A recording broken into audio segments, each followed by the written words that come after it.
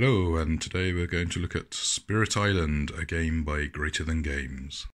Now, on opening up the box, uh, obviously you'll notice this is a pre-punched copy. So we've got the little discs, which are the influence markers for the spirits, uh, some little cardboard tokens, which represent uh, like temporary powers of the spirits.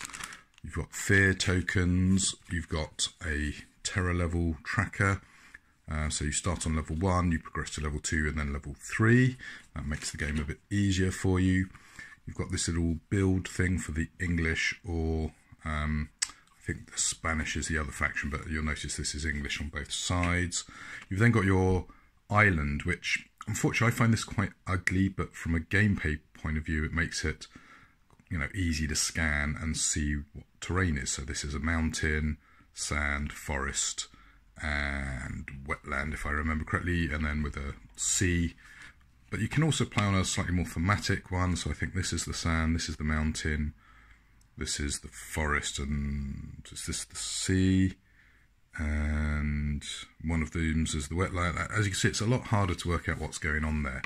And there's four of these, which you can place in various uh, styles. Um, so let's just see if I can set up a connection over off camera here somewhere. Yeah, so for example, um, I've locked these two islands together here, so they just click together. And so there is a little bit of fiddliness in setting up your playboard.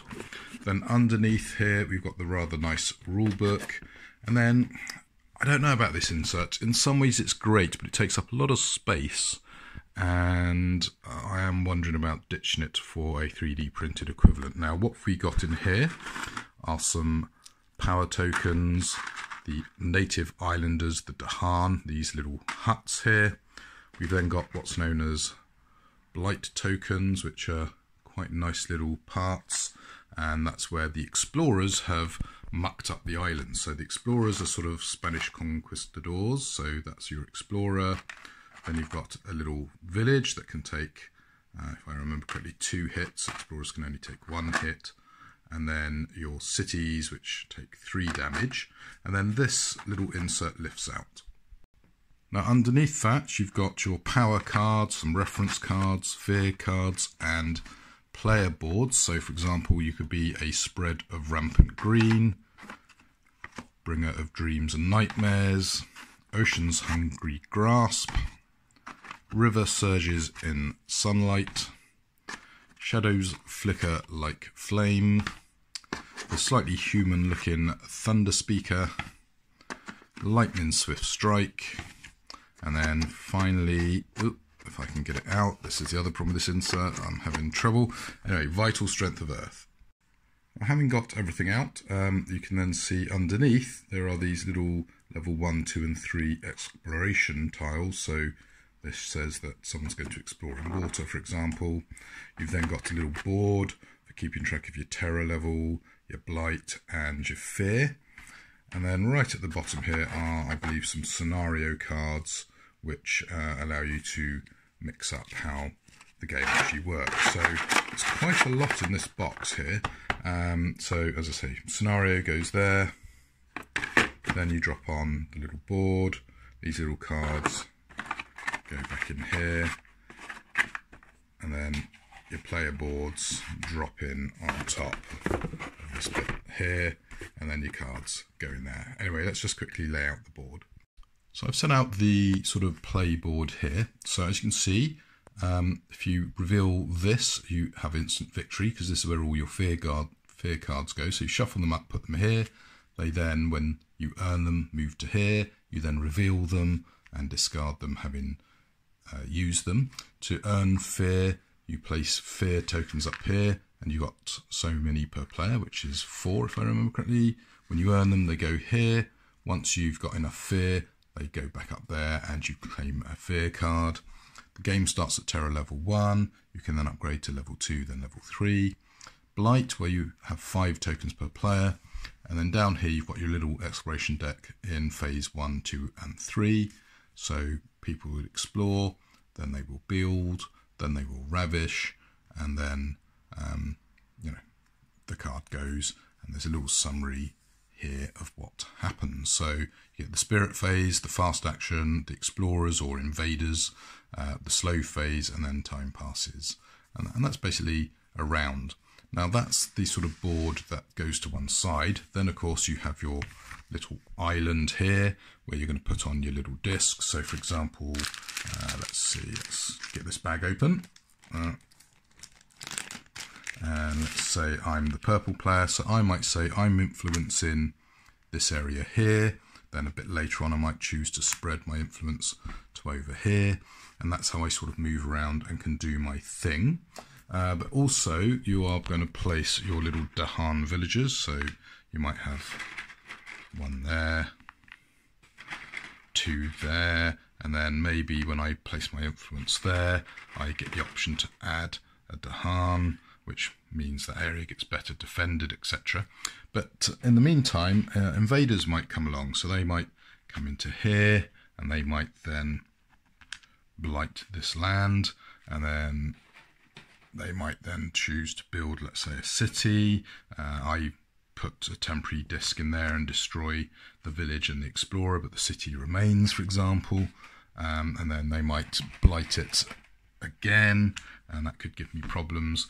And so that's sort of the, the flow of the game. What you're trying to do as a spirit is you're trying to spread your influence, keep the Dahan um, around, and destroy the explorers. Now, I've got a feeling um, the fear cards can really make or break your game because they can have some really powerful effects. So let's have a quick look at some of those.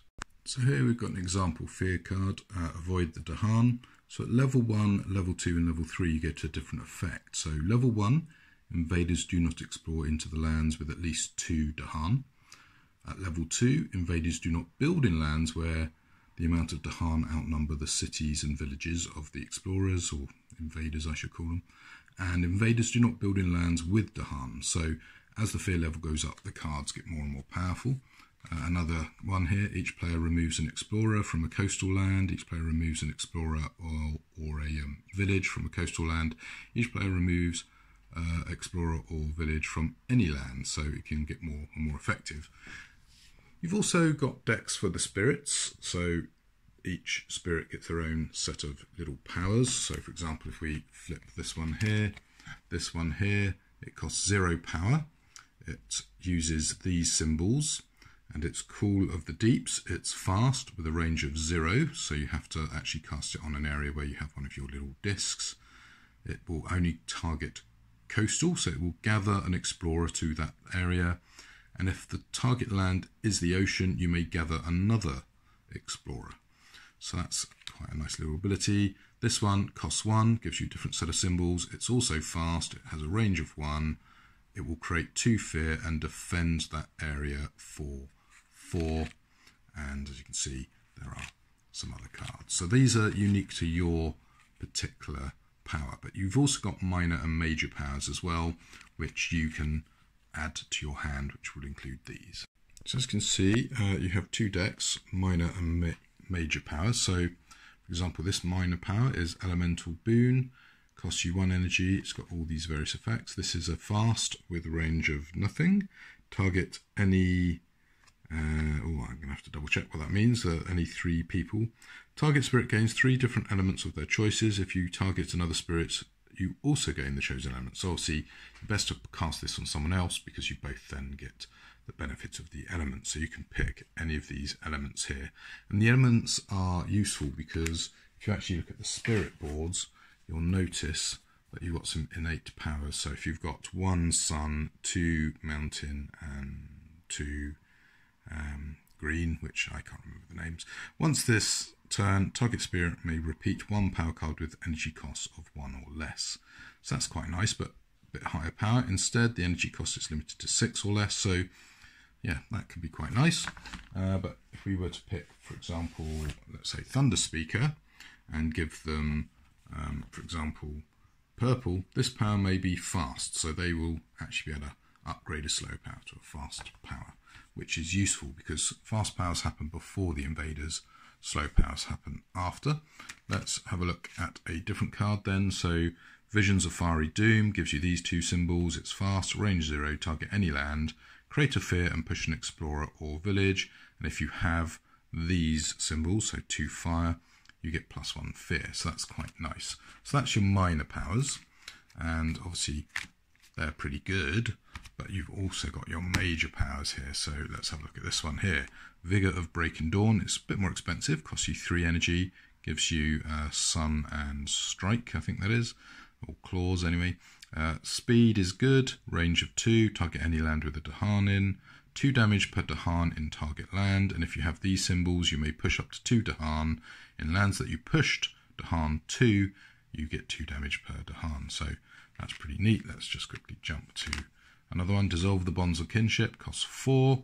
It's got three different symbols. It's a slow one with a range of 1, targeting any land, and replace a um, city with two explorers, replace a village with one explorer, replace a Dahan with one explorer, push all from target land to as many different lands as possible, and if you have these extra symbols, before push in, do damage so they actually fight each other. So that's pretty good. Now that is a, an aspect of the game I haven't really talked about, is the Dahan, when they're on the space here, will have a, a, certain amount of attack and defense, as will the explorers, and they fight it out. And obviously, you don't want to lose your Dahan, uh, and you want to get rid of all the invaders because, as you can see at terror level one, if you get rid of all invaders off the board, you win.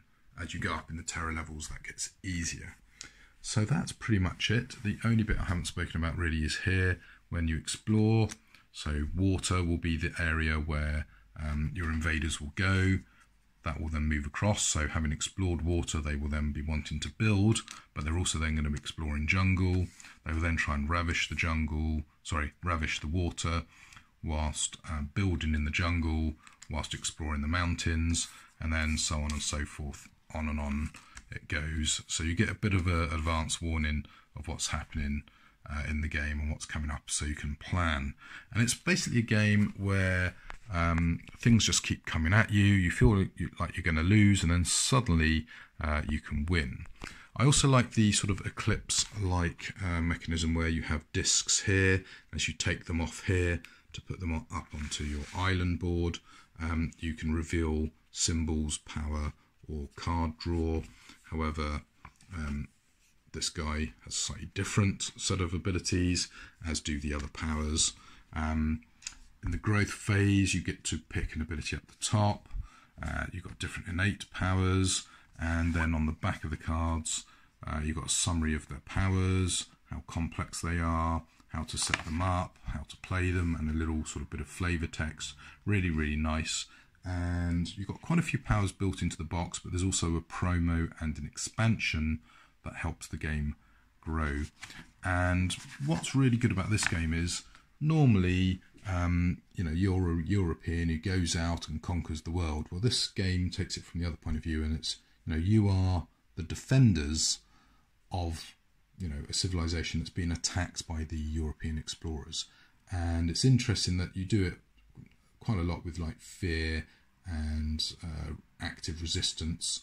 And of course, one of the big problems is the Europeans are coming and they're blighting your paradise island. And I really like that. It's a really nice little um, flip of your normal setup. And then, of course, you've also got the scenario cards. You've got, um, for example, the English here that, um, if I remember correctly, they go on here. So you go explore, build, ravage, build, discard, which is pretty horrible. Um, so yeah, nice little uh, mix up. There's also little cardboard chips as well that allow you to do various bits and pieces um, for the different types of explorers. I think there are some fan created explorers, for example, to be Swedish invaders and stuff like that. And so it's really, really well supported.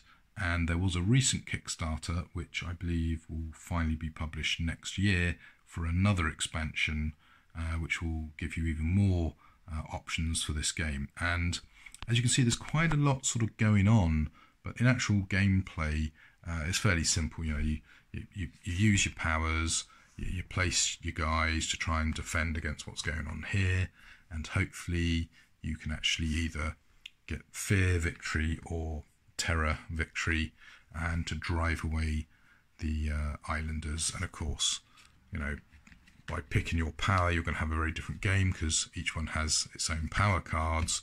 but also its own power board with different bits and a different scaling on energy and card draw.